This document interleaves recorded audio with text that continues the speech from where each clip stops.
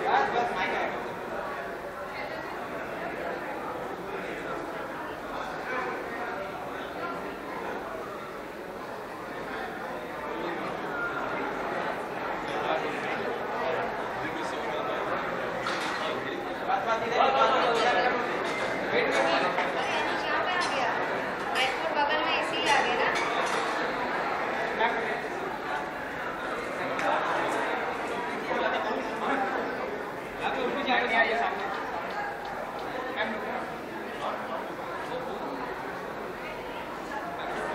This is like my first award as in बीच में ऐसी फालतू से थे award shows but this award is something and women's day पे एक यू नो औरत होने का अवार्ड मिल रहा है just just to be a it it feels great to be recognized as someone as a woman who is fearless it feels great and with such talented women out there Where does your courage come from?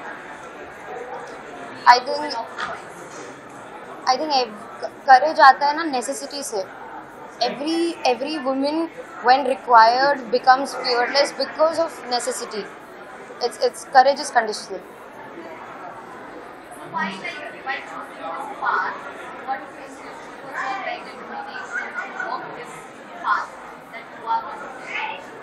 determination to be very honest was money if being very very honest i wanted money i wanted fame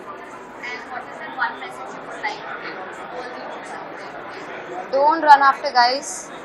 Run after your career.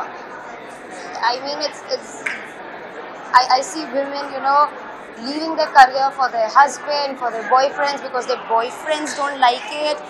Your career is not going to tell you that they don't like your boyfriend. So just just concentrate on what you do your uh, and be financially independent. That's it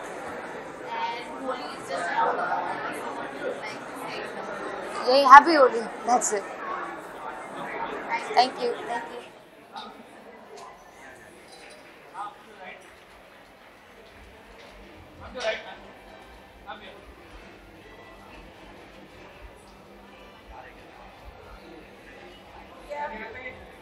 Award जब मिलता है ना किसी कलाकार को अपने काम के लिए, हर बार जो फीलिंग होती है उससे दस गुना ज़्यादा होती है। तो ये हीरोइनी अवार्ड जो है, वो हीरोइन से अलग है। यानी कि रियल और रियल लाइफ में फ़र्क होता है और रियल लाइफ में जो मैंने काम किया है, उसके लिए अवार्ड मिला है। तो I am really feeling very good बहुत अच्छा लगा। उसको अच्छी तरह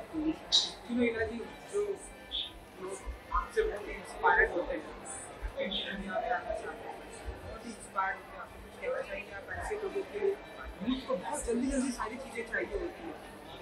नहीं उनको मैं कहती हूँ सब्र का फल मीठा होता है।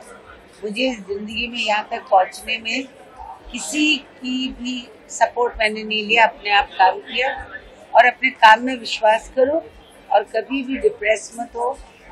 सबका अपना अपना वक्त होता है। अगर लगन है तो डेफिनेटली लगन और अगन।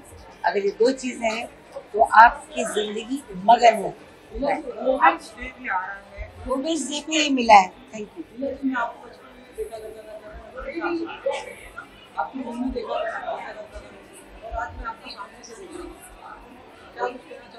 आप बताओ ना, क्या कहना चाहोगे?